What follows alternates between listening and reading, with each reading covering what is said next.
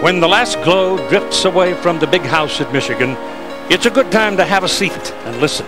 Hear Yost, Kipke, Crisler, and in your mind's eye see the lads who wore the colors. Harmon, who played both ways all the way to a Heisman Trophy and got a standing ovation once at the Horseshoe. The Michigan football team is within sight of the summit of their mountain. Their journey inspiration in part from those who have climbed the world's highest mountain. But when you venture into the biggest house in football, you better come prepared lest ye perish at the hands of the big burly resident. For this is a house of history, a house of pride and tradition. Hail to the victors valiant, hail to the conquering heroes. Touchdown, Wolverines! Touchdown, Michigan! Touchdown, Michigan! Touchdown, Michigan! Touchdown, Michigan! Touchdown, Michigan! It's touchdown, Michigan! Hello again, everybody. I'm Keith Jackson. Working with us today as our commentator and analyst, Ara Parseghian. Now, the Michigan Wolverines are assembled in the tunnel, and the crowd is coming to its feet. And when the Wolves come onto the field, you'll hear a roar that'll knock pine cones out of trees 50 miles away. Hello again. I'm Keith Jackson. And I think this game has everything. These teams represent two of the finest universities in the nation, backed by loyal legions, and I mean legions, millions of fans. For Bo Schembechler today, this will be his 200th game as a head coach at the college level. For Gerry Faust of Notre Dame, this will be his second game as a head college football coach just about as much drama packed into an afternoon of college football as you could possibly hope to have.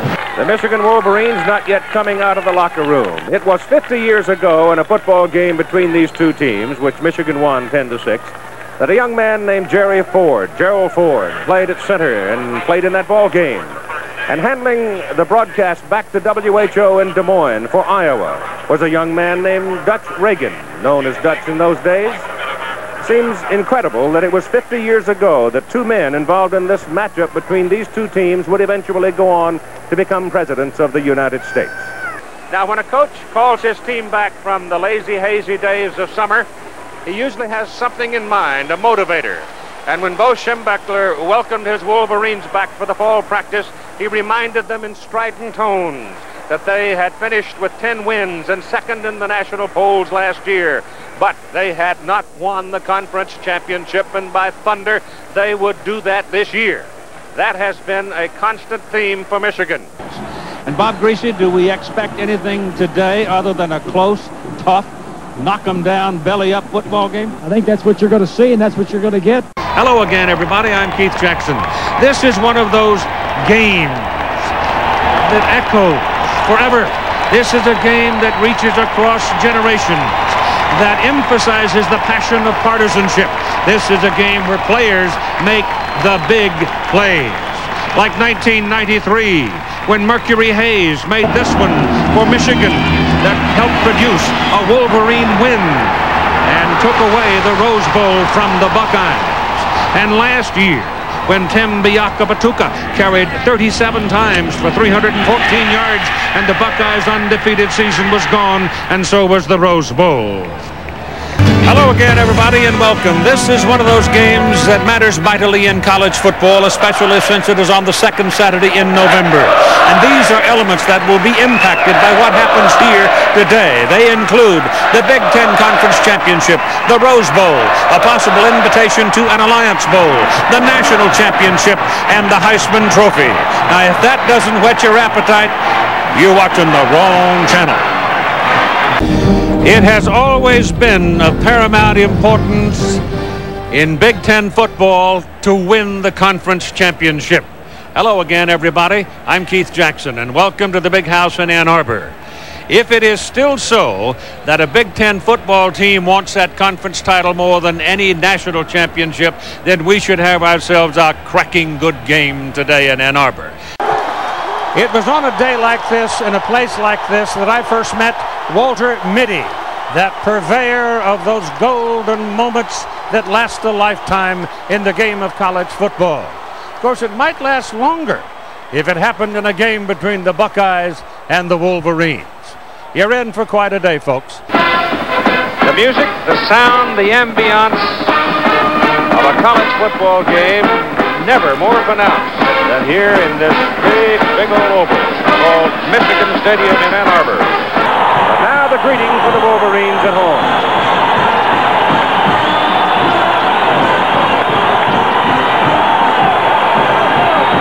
Kind of moment has to have deep roots, and it does. 117 years of growth, 764 wins, most by any Division 1A team. This is Michigan.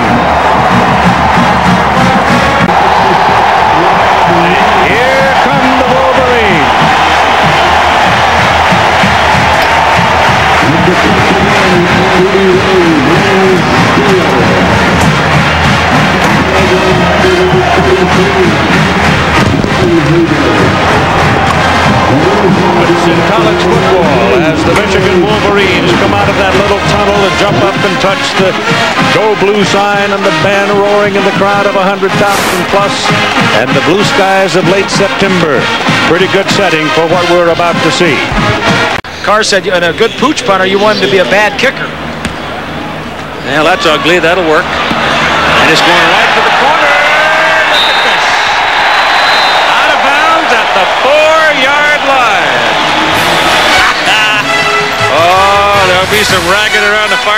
Christmas.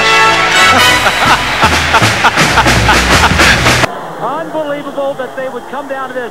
They had a shot at it. Yeah, Look at the, the receiver in the there. back. Yes. Just not quite. I don't think my, I could have handled that one. I don't think you could have either. Clarence Williams' grandmother could have scored that one. So Michigan showed you a little razzle-dazzle stuff. More things that Charles Woodson can do. That thump you just heard, that was Bo Schembechler fainting. oh, Bo wouldn't leave that but you know, Prater, and the last time Brian Griese ran that far, his dad was chasing him with a stick. With the oxygen. Frank Beckman, who is the broadcaster for the Michigan team, came in for the game and said, what do you think? And I said what I thought. Now I've decided I don't know a damn thing about anything. I promised him, whoa, Nelly. the trophy presentation is coming up. The MVP in today's ball game. Ah, uh, you want to know who it is? I'm standing alongside his proud daddy, quarterback Brian Griese of Michigan. What a year he's had. Changed his whole life.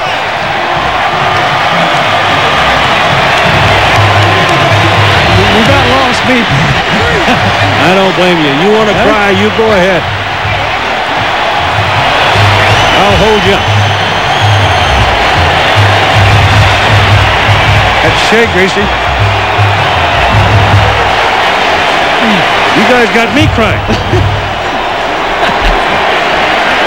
well, I'm kind of getting sick and tired of this. Wherever every place we go, they take you down on the field and they're giving you rocking chairs from Penn State and honorary membership to the press box at Iowa. You got the best food in college football over there.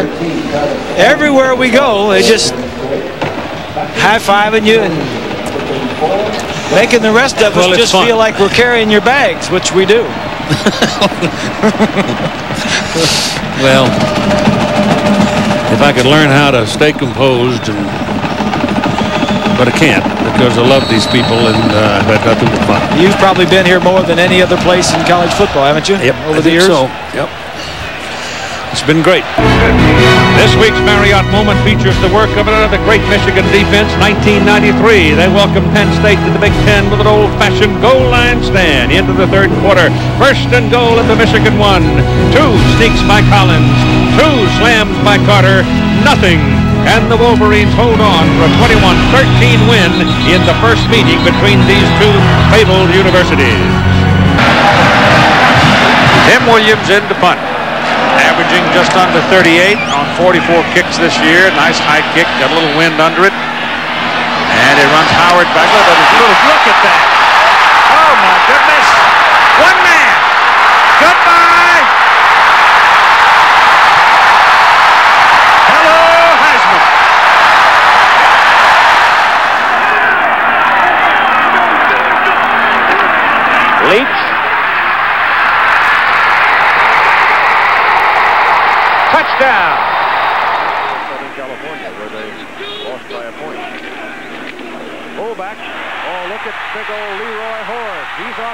Again. Going, going. Touchdown.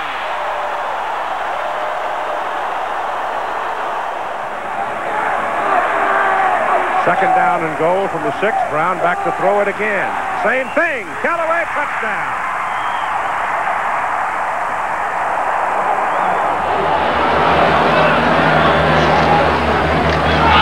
Wheatley finds a hole. He's gone. Touchdown. Michigan is right there in third position right now. Bunch. Jarrod Bunch. Jarrod Bunch. Touchdown.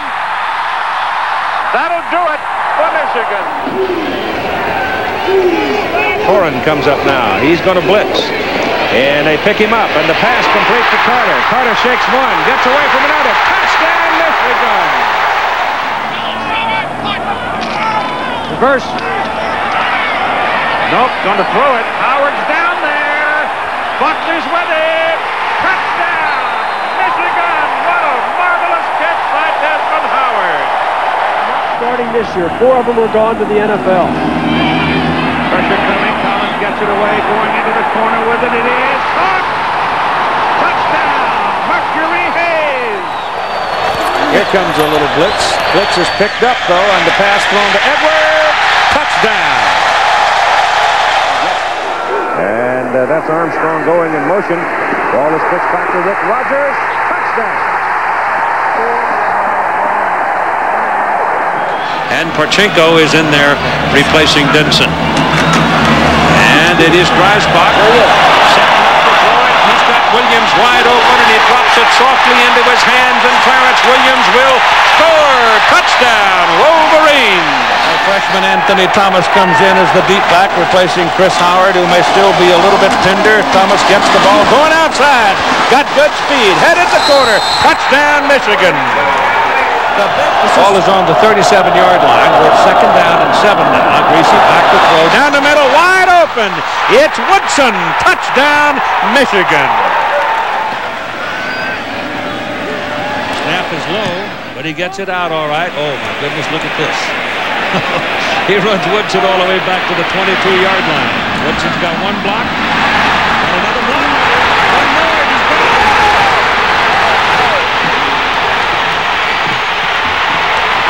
Touchdown. No flag. Inside a little bit. Back goes Jackson. And he's got a problem. Still struggling. Now throws it in. Intercepted. It went right to Andre Weathers. And Weathers will score touchdown.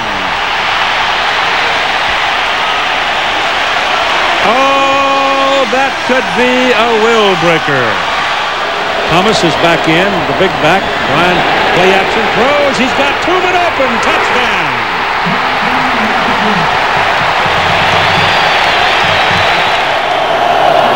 Nine to nothing, Buckeye. And Griese's first pass, drilled to Tai Streets. He's wide open and gone for a touchdown.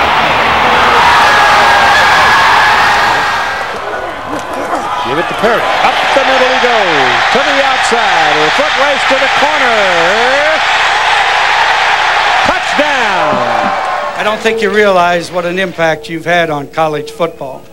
You've been our greatest ambassador, and I just want to say for all of these people out here and all the people on ABC, we really appreciate all the things that you've done for college football and wish you the very best in your retirement.